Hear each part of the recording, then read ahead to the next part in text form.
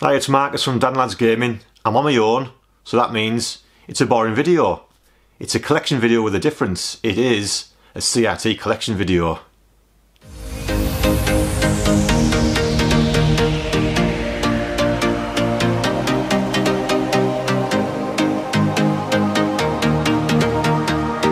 Now I love watching collection videos, but I don't think we've ever got anything really worth uh, doing a video on, to be honest. Now, I've never been compelled to do one, but now, who doesn't love cathode ray tube TVs? we got 17 in total, would you believe? So now, if you watch this video, go into detail what we've got, and you might be as engorged as what I am about CRTs.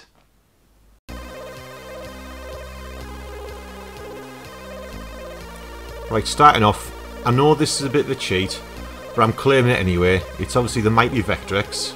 It does have a monochrome vector display, but it is a CRT. And this was released in 1982, and every retro gamer should have one of these.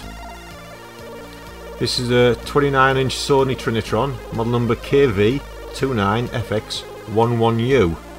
It has two SCART connections on the back, one accepts RGB and the other S-Video. It also has a composite and S-Video connection on the front. Now I got this from a house in Durham which smelt of rancid smoke. It took absolutely months to get rid of the smoke smell, but boy was it worth it when we got rid of it. We mainly use it for light gun games, predominantly PS2, but it also accommodates the PS1 light gun games, and also Atari 2600 in RF. This is the first of my 14 inch PVMs, it's a Sony 1453MD it's set up on its side to cater for all the tate games, mainly shmups and mainly on the Saturn and PS2. There are 600 TV lines, which on this 14 inch screen is absolutely tremendous. It will accept RGB, component, S-Video and composite, but I've got it mainly set up just for RGB and component settings.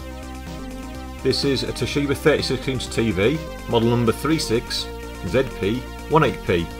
Now this thing is crazy heavy and it wasn't fun carrying this up two flights of stairs and I've done it twice because there's actually two of these in this setup. It weighs 75 kilograms. Unusual for TVs in the UK, it has a component input. Shame though it only accepts 480i.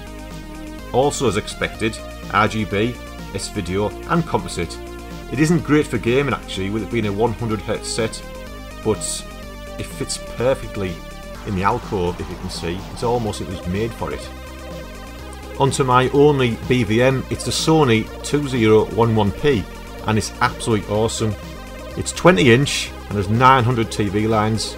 It'll accept a 4.3 and a 16 by 9 signal. It's using RGB and component.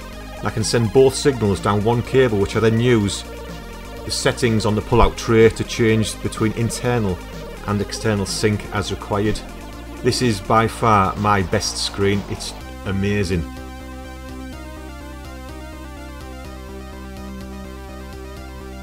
The second of my 36 inch Toshibas, same model as the one in room 1.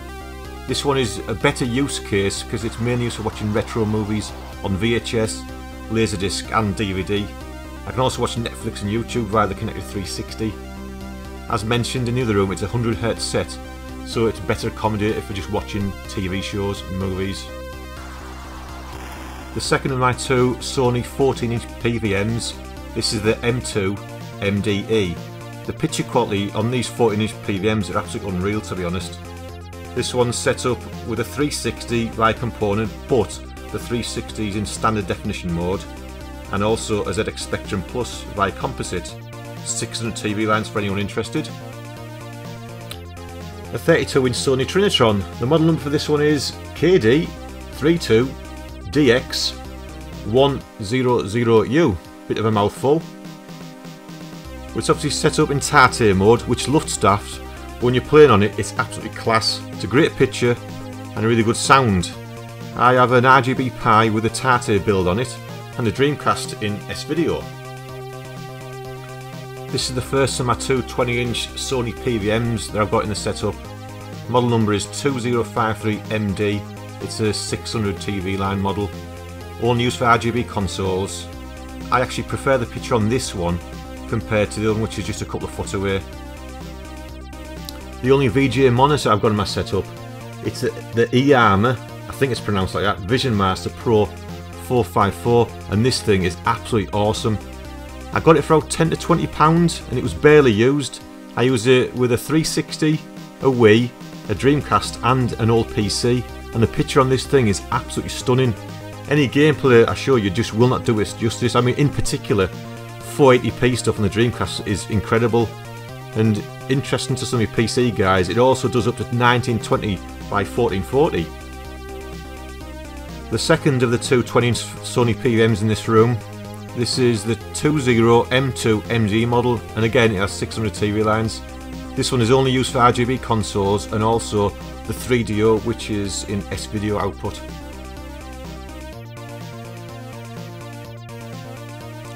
This is the first of my two spare 14 inch PVMs. This is the Olympus, and that is basically just a rebranded Sony PVM. It's the OEV 142 model, again 600 TV lines and it'll accept RGB, component, S-Video and composite. The second of the two spare 14 inch PVMs, this is a Sony and the model number is 14N5 MDE. Now it's not as good as the other PVMs, but it's still pretty good it'll accept S-Video and composite. In my opinion, it would make an ideal monitor for the 8 and 16-bit microcomputers. I've now ventured aloft for the next three TVs. This is a 20-inch standard TV made by Thorn. Who can remember them? Its model number is CT202T, and now it's got a couple of SCART sockets on the back, one of which will accept RGB. This is the 18-inch Bush, model number BTV 18SIL. Now I got this not too long ago from my parents. It was hardly used, it was in their loft. It's a CRT and VCR combo which works great. And actually it'll accept RGB2 which is class. My brother and I got this 20 inch Sony Trinitron brand new in about 1991 we think. It really has served us well and it's been the mainstay in multiple setups across, where I'm guessing there's about four houses, but now unfortunately just a back up in the loft. Does RGB, S-Video and composite. It is the KV X2172U model. Finally, this is a 14 inch black diamond that I've got set up in the garage. It'll eventually be used for testing consoles that I've repaired if I eventually stop procrastinating and just start teaching myself how to do it. It's a BDS 1451 UK model and picture quality on this by RGB is lovely actually. Now the boring techie bits are out the way, I'm going to astound you with some game footage on these monitors. Stand by.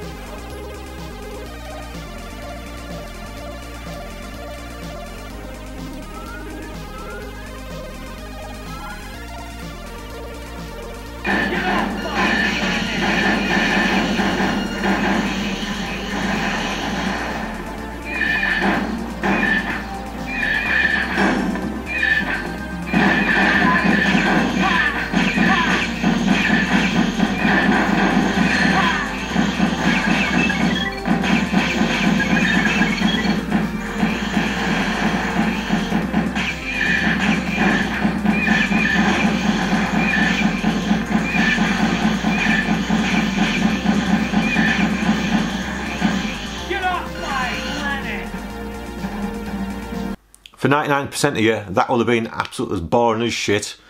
But for the 1% who like the CRTs, like me, I hope you had your Kleenex ready. See you later.